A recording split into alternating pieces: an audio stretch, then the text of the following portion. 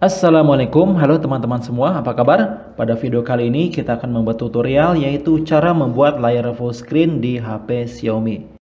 Kegunaan membuat full screen di HP Xiaomi ini adalah ketika kita menonton video di YouTube. Oke, bisa dilihat seperti ini. Sebelum full screen, maka untuk YouTube tidak sampai ke bawah ya. Tetapi setelah dibuat full screen, maka untuk tampilannya full hingga ke bawah. Jadi untuk tombol navigasi ini tidak terlihat. Oke, untuk melakukannya ini sangat mudah, namun pastikan terlebih dahulu untuk layar yang kalian gunakan, layarnya sudah full screen. Jadi untuk bar navigasi masuk ke dalam layar ya. Tidak seperti HP yang Xiaomi model lama yang bar navigasinya ada di bagian bawah. Ya. Oke, untuk melakukannya, pertama kita masuk ke menu setelan atau pengaturan.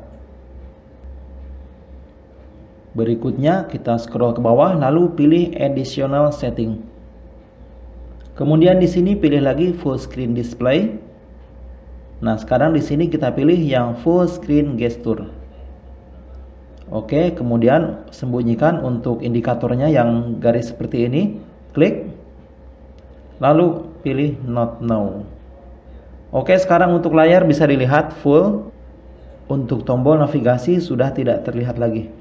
Kemudian cara untuk mengontrolnya ini sangat mudah, mungkin sebagian masih belum paham karena untuk tombol navigasi di sini sudah hilang. Yang pertama kita coba dari tombol kembali. Biasanya untuk kembali kita klik di sini ya, kalau nggak kiri kanan. Nah karena tombolnya udah nggak ada, maka untuk kembali kita geser ke kiri atau ke kanan. Set. Nah ini tombol kembali. Kita coba dari sebelah kiri. Nah sudah kembali seperti itu. Kemudian kalau misalnya langsung ke tombol menu, maka tinggal kita swipe saja ke atas dari ujung layar bagian bawah. Seperti ini. Nah gampang bukan? Kemudian untuk melihat aplikasi yang sedang berjalan caranya kita swipe dari bawah ke atas kemudian tahan. Seperti ini. Swipe lalu tahan. Maka untuk aplikasi yang sedang berjalan akan ditampilkan. Nah seperti itu. Bagaimana? Sangat mudah bukan Mungkin buat kalian yang tidak terbiasa dengan menggunakan cara ini rada repot ya. Tetapi kalau yang udah biasa ya enjoy-enjoy aja.